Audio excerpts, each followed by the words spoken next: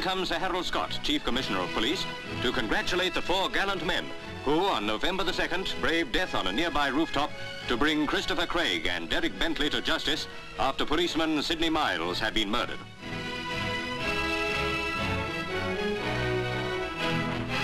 Now comes the news that these four policemen have been awarded medals for their bravery. To PC Jaggs goes the BEM, to PC MacDonald the George Medal, to Sergeant Fairfax the George Cross, and to PC Harrison the George Medal.